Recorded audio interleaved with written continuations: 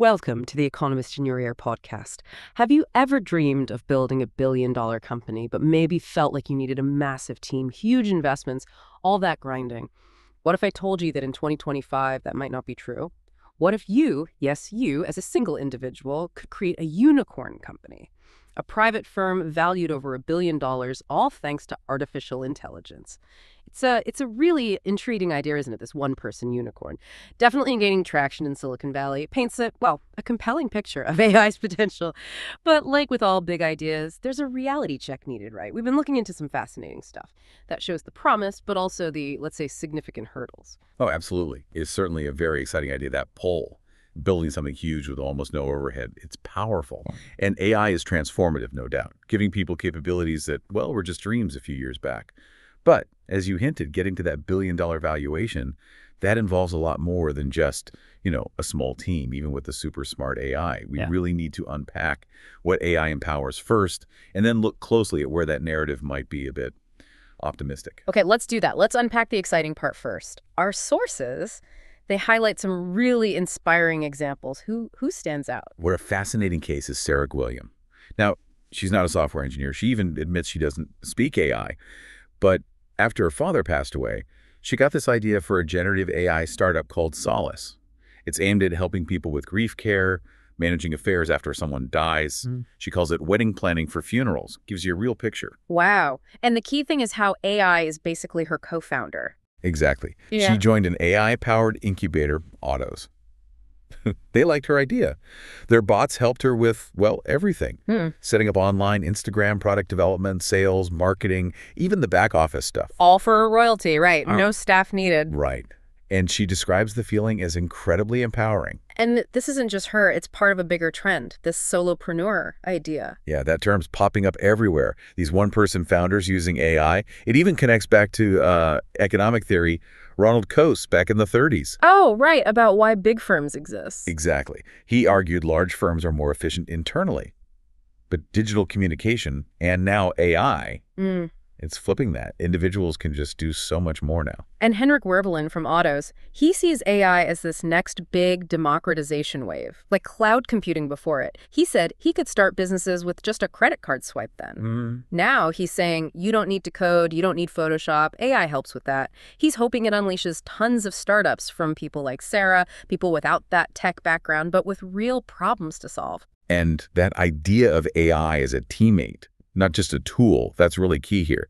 Karim Lakhani at Harvard Business School really emphasizes this. He did this field experiment uh, at Procter & Gamble with almost 800 professionals. And what did they find?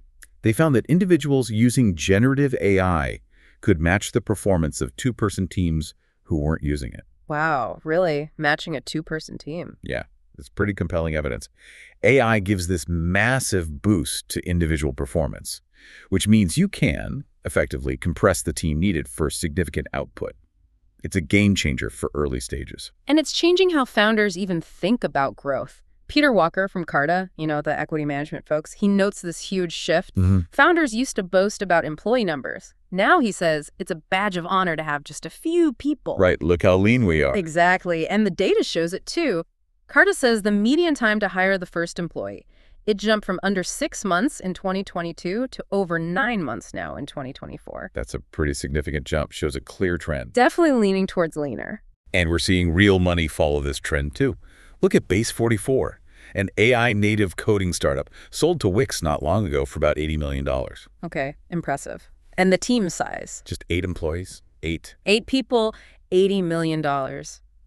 Okay, maybe not a unicorn, but that's serious validation. It really is proof that tiny teams can achieve big outcomes now. Okay, so AI definitely shrinks the early team, speeds things up, got it. But that leap, the leap to a billion dollar valuation, that's where things get more complex, right? The whole one person unicorn story, it sounds great, but maybe it smooths over some rough edges. Precisely. And here's where that dream hits its first sort of reality check. It's not just about those transaction costs Coase talked about. Sure, AI agents lower coordination costs, production costs, great. But in billion-dollar markets, other things start to really dominate, like distribution, trust, compliance, getting capital. Right, the non product stuff. Exactly. Think back to Sarah Gwilliam Solace. Imagine a solopreneur trying to clear SOC2 or ISO certifications. Oh, yeah, those big security and quality standards. Tough for anyone. Very tough, especially solo. Or navigating health and funeral sector rules, enterprise security reviews, state-by-state paperwork. If your product touches sensitive stuff like estates, records, grief care, the solo model just gets completely overwhelmed by these other costs. That makes total sense. It's the whole ecosystem around the product, not just the code. Okay, what's hurdle number two? Agent reliability. And maybe more importantly, compounding errors. Look, AI agents are getting better fast, but they're still kind of brittle. They break in weird ways, and they make what we call long horizon mistakes, small errors that just snowball over time. Snowball, how so? Well, Anthropic, the AI lab, they ran this experiment. Project Vend had an AI manage a vending machine business. The agent, it showed initiative, found suppliers, adapted, but What? it made classic mistakes, ignored good opportunities, hallucinated things, gave too many discounts, Yeah. and ultimately it didn't make money. Ah, so small errors adding up. Exactly. These aren't just glitches. They compound across workflows. So this idea of set and forget, it's super risky without really strong evaluation and, frankly, human checks. Right, you can't just let it run wild if the stakes are high. What else? What's the next worry? Challenge three, platform dependence. This is a big strategic risk. Most of these one-person or tiny team setups, they're built on large language models and cloud platforms run by just a handful of huge companies. Like AWS, Azure, Google Cloud, the big AI labs. Exactly. And prices change. Models get updated or even retired. Outages happen. And if you're tiny, you don't have an infrastructure team to handle that. Precisely. Any one of those things can break your economics or just take you offline. We've seen it with Azure OpenAI incidents, models getting retired. Hmm. You're building your cool thing on someone else's land, basically, and they can change the rent or the rules anytime. That is a critical point. It's fragile. And uh, Annabelle Gawer at Surrey University, she made a related point, didn't she? That AI lowers entry barriers, which is great, but it also makes it easier to copy ideas. That's the double-edged sword, absolutely. Easier to start, maybe harder to build a lasting advantage if someone can just replicate your wrapper around a common model. Hmm. So harder to sustain that competitive edge. which leads to challenge four. Are we seeing lots of new businesses or lots of new durable firms? New business applications are way up, true, but the number of employer businesses, the ones that actually hire people, that's cooled off a bit from the peaks. So lots of people starting things, but maybe not scaling into big companies as much. The solopreneur surge is definitely real, but the conversion to scaled employers seems slower. It suggests maybe not all these ventures are on track to be unicorns. Many might be great lifestyle businesses, small successes, but not billion-dollar firms. Okay. And there's a final twist, isn't there, about who actually captures the value. Ah, yes. Challenge five. The cloud keeps the cream. It's the ultimate paradox. AI might democratize creating stuff, but the value capture, it still seems to tilt heavily towards the giants, providing the models and the computing power. So AWS, Azure, Google, the AI labs, Uh. their revenues are soaring. Right. Startups pay tolls to use their infrastructure and models. It's like, you know, finding gold on rent, la- the landlord takes a big cut. And there's even the risk they could just copy the best ideas. It's what some call the galling possibility. With their resources and platform control, they could potentially observe and then pinch the most promising applications built on their tech. Okay, so putting this all together, what's the realistic path forward for you, our listener, maybe thinking about building something with AI? Is the one-person unicorn just like a myth, or is there a chance? Look, one human forever seems highly unlikely for a unicorn. The more plausible path, it's probably one to few. Hmm. Picture this. A founder uses AI agents, maybe some contractors, to get to product market fit, prove the idea, get some traction. Okay, the lean start. Then, as the contracts get bigger, liabilities grow. You strategically add a very lean core team, maybe someone for compliance, maybe enterprise sales. So not one, but maybe three, four, five key people, something like that. Now, are there exceptions? Maybe. Ultra high margin, self-serve software, strong network effects, low regulation. But didn't we just say those are easier to copy now because of AI? That's the paradox.